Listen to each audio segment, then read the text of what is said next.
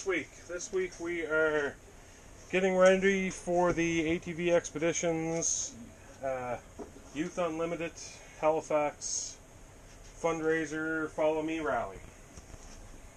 Um, I'm leading it along with a couple of my buddies. And I blew a tire last weekend. so, buddy mine loaned me his tires to get me through, and I got some tires from a club member. I bought some tires from one of our club members, and uh, they're coming tonight on my rims. A buddy of mine, Neil, is uh, mounting them up for me. So thanks a lot, Neil. And uh, yeah, so we're gonna do the oil change. We're gonna check this thing over, make sure we're good for the rally. I got Dylan over there taking the jacko from underneath the bike for me. It's all up on jack stands.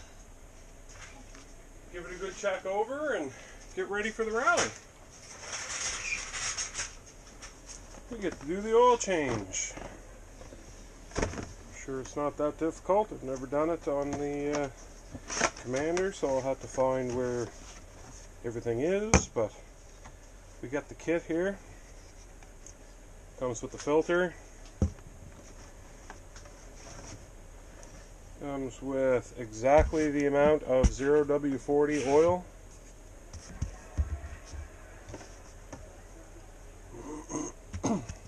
I believe it's 2.8 quarts. Comes with a new crush washer. And it comes with a new O-ring.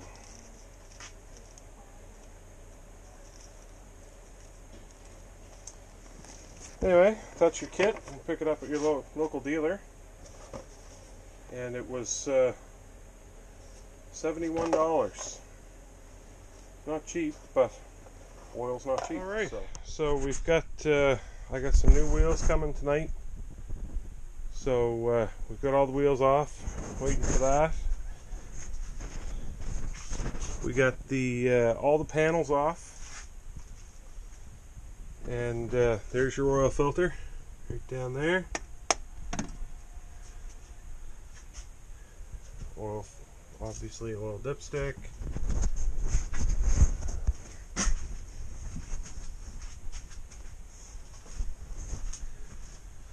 We have I didn't take the plastics out on this side because uh, well I don't need to. I took this off to take a look. Some nice storage there and underneath. You can put an ammo can in there if you wanted to I plan on keeping all my tire supplies in there. Tire repair supplies.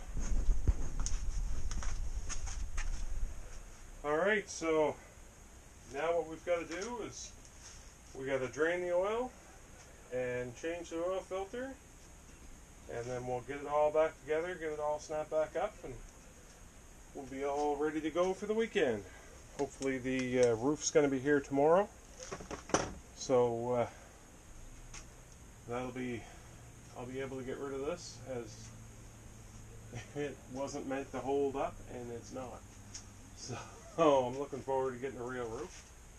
Alright so we'll get this tore apart and you should see it. Alright so we gotta find the drain plug here. Got a 17 mil socket. Don't really need a deep socket but that's what I've got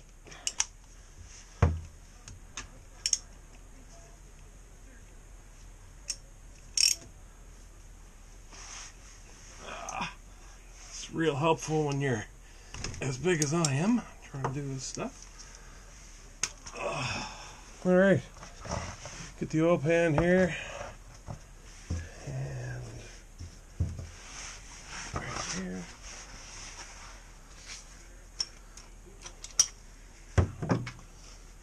We will drain the oil.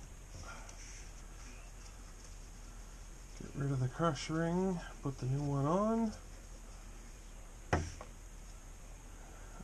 too horrible looking, actually. Definitely seeing worse.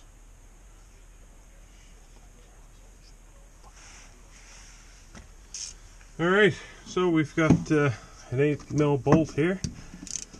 This is the uh, oil filter cover. Okay,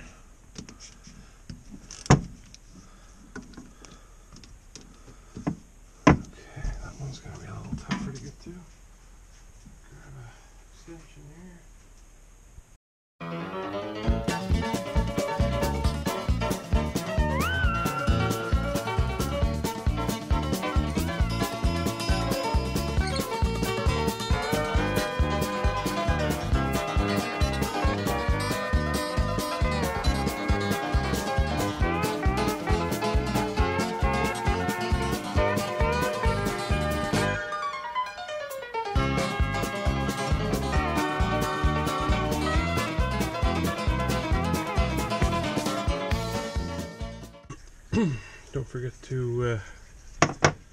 Clean up all your excess oil when you're done.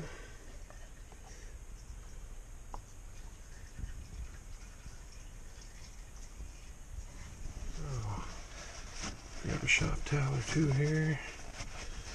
Just gotta clean up this mess a little bit. Of course, a little bit of oil on the bike's not necessarily a bad thing.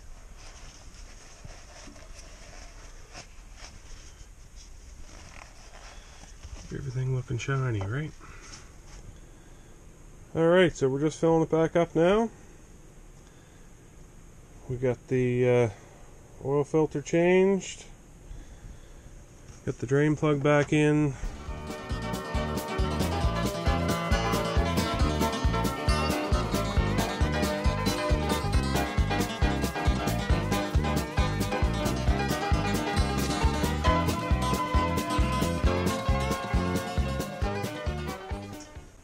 So I'm just about to call it a night here. Got to work in the morning.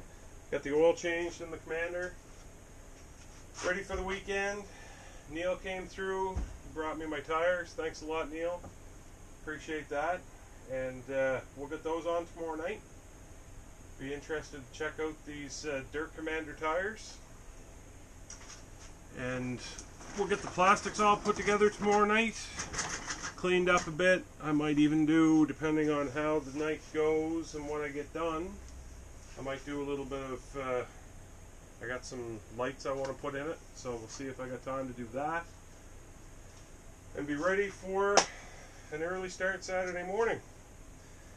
We, uh, I'm just borrowing a buddy's trailer right now because I don't have one to fit the Commander. And uh, he needs it this weekend, so I'm riding from home, so I'll be headed up from uh, from home here in Beaverbank out to Kennetcook for 9 a.m. So it's going to be an early start Saturday morning. So my buddy Jason, I think, is going to uh, ride shotgun with me on the rally. So I'm sure he'll be really happy to find out that uh, we got to be up that early and uh, heading out to Kennetcook. But you know what? The commander's uh, comfortable. I don't mind at all. I love riding it. So we will see you guys in Kennetcook on the weekend. We'll see you tomorrow night and we'll get this thing buttoned up. Hey everybody. Alright, night two. We got the wheels back on. I'll show you them in a little bit. Uh, we got a mod to do. We have Sport Low.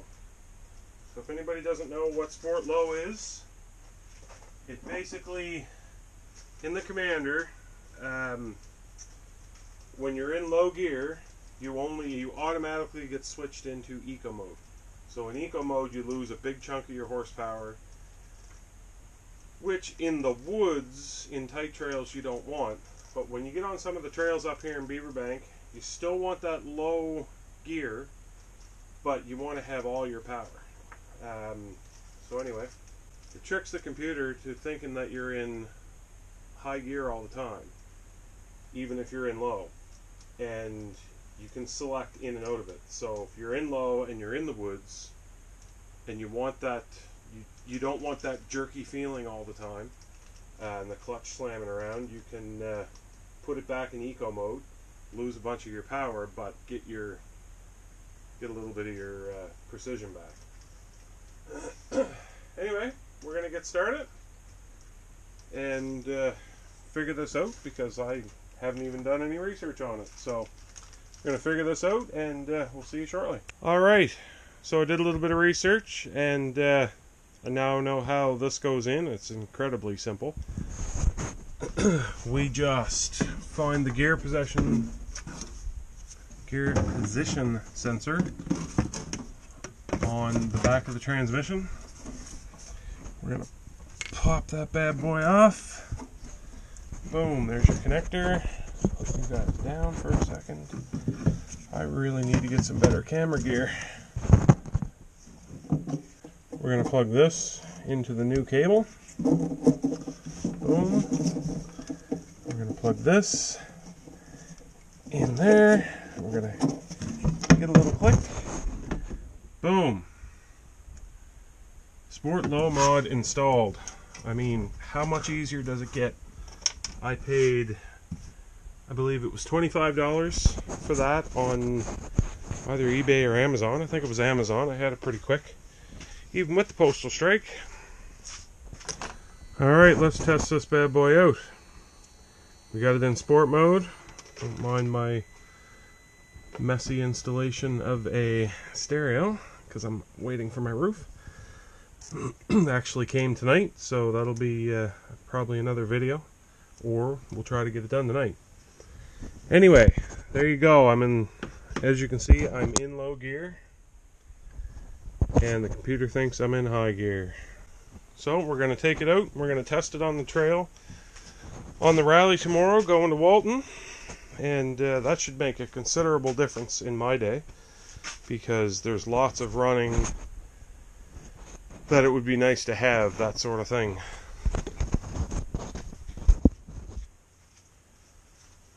For those of you that don't know, we're uh, we're going out and we're leading a rally for Youth Unlimited Halifax yeah, so we got a bunch of good sponsors on board, and we're going to go out. We're going to leave Kennetcook. We're going to head over towards Stanley, and then we're going to head up to Walton, come out in the wind farm. We're going to run the shoulder of the road pilot project area, and we're going to go to the Walton pub, have some lunch. Then we're going to head out, and we're going to go up the quarry roadside and head back towards Kennetcook. It's going to be a good day. We're going to have of fun and I look forward to seeing you guys out there. So we're going to get a little bit more done. And uh, I say we, I mean me. I'm going to get a little more done. And try to get this thing back together and good to go for the morning. It's 7 o'clock. So, got a couple hours. Hopefully it won't be a super late night because I got a long day ahead of me. So, yeah. Get some stuff done.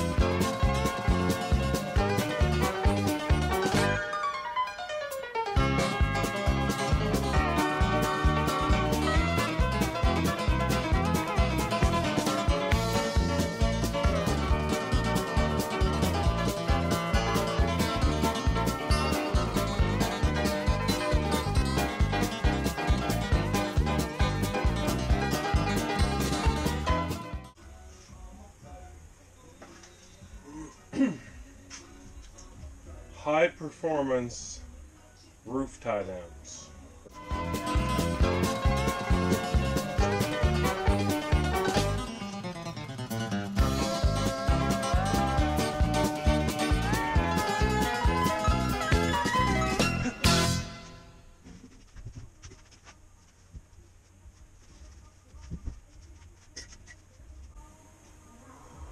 Wow, you can see inside of it again.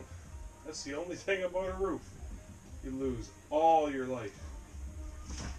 But, then you go to the dollar store and you get a adjustable dome light. Ooh. Probably a rip-off. It was from the dollar store. It was like four bucks. So it's probably a rip-off. But anyway, put some Velcro on the back. Boom, slam it up there. Other than the fact that it comes flying down on top of you when uh, you hit enough bumps, or a hard enough bump. Uh, maybe put some double-sided tape on it. It's got magnets on it, so unfortunately this is an aluminum roof, so nothing's going to stick to it. But uh, we'll figure that out.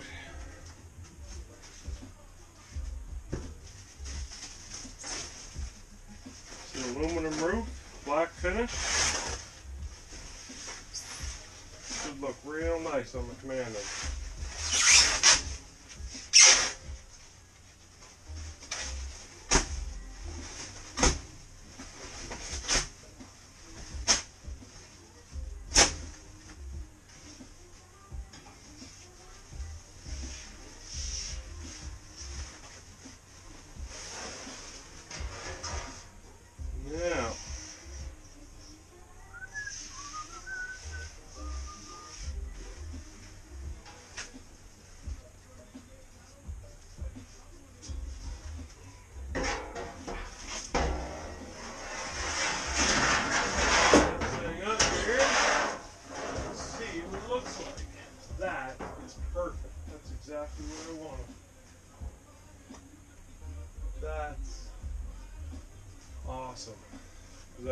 Surprise for later. Another kind of DIY thing that I'm doing.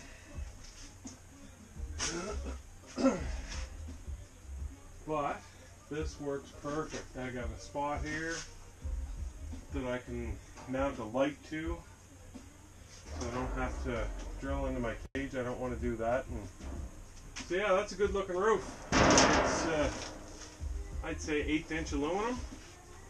And boy, she's not. Uh, it's going to take a heck of a lot to damage that. Not going to say that too loud, but you know, we'll see. it looks like it's pretty strong. Looks like it's pretty tough. Now we'll find the mounts. We'll get this thing mounted up, and I'll be back. So, after I turned the camera off, I realized that I should probably do an unboxing. So anyway, stainless steel hardware.